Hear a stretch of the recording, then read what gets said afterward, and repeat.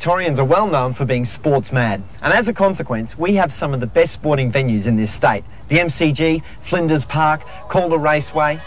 I've just discovered a way that we can go and see them from a slightly different perspective. This is the MCG as we all know it, that one day in September. But we went exploring backstage when there shouldn't have been anyone around. Paul Salmon, how are you? James. What brings you in here this morning by yourself? Well, you know me, made a bit of extra track work uh, doesn't go astray. You know, always refining the skills. Dedicated footballer. What a load of rubbish. Yes, you're right, you're dead right. to see, good to see. But what about you? What are you doing here? I've come to preview the Paul Salmon tours. Have a look Oh, really? backstage, yeah. Oh, it's good to see you. Let me show you around, mate. There's plenty to see around here. Terrific. Always been a fan of yours. I'll just hold on to this for you, okay? Thanks, mate. James, hang on, mate. You can't do Mate, the uh, coach's room. Coach's room. Coach's room, the whiteboard, the famous whiteboard. It's not the one that, uh, the, the car. What do you got? Some, someone's collar. hey. Why not?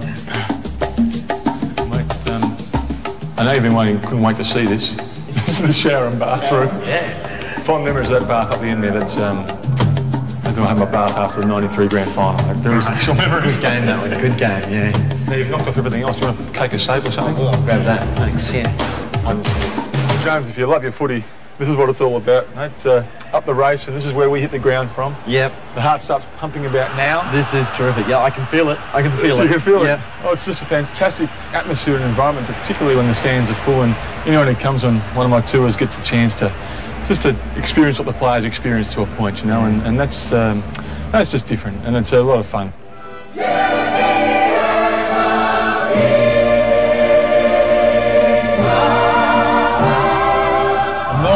Sports and Entertainment Centre, or what's we're really well known as the Glass House, James, it's just a centre for lots of different uh, events and uh, exciting things. I mean, it's the home of the North Melbourne Giants, uh, basketball.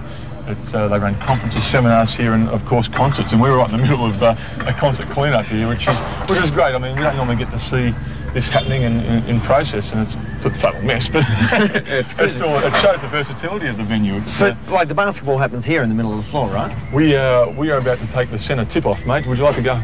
I'm not with you. No. Game set.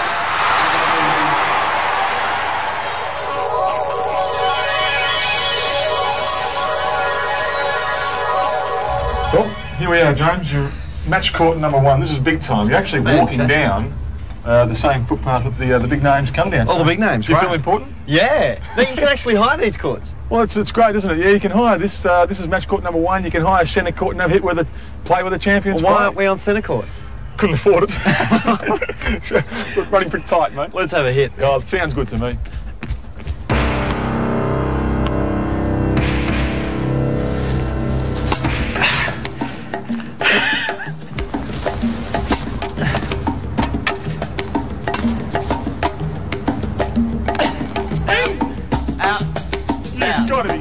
Foot. It's Jeune in front of David Hayes, two lengths in front of Paris Lane, and O'Fowler and Jeune wins the Melbourne Cup.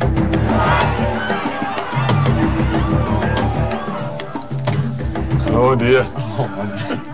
anyway, after the races at Flemington, James, we bring our groups down to the weigh-in area and they get to see the jockeys being weighed in and well, quite frankly, mate, if they're as overweight as you, they're off to the steward's room for an inquiry. And I haven't even got my saddle.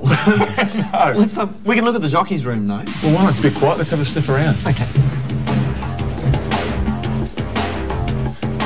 Have a look.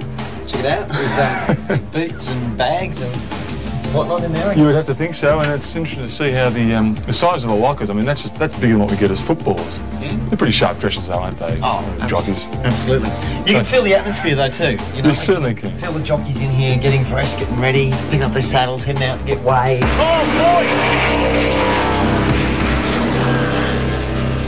Exciting place to be on race night. Oh, great place. Great place to be here today. And that's one of the good things about your tours is you offer um, unique experiences. Well, that's right. It's uh, you know the common theme is getting closer to the event, and we take our guests down into the pit uh, pit straight, so they can get a little closer to the cars and the crews, and uh, find out a bit more about how it all ticks.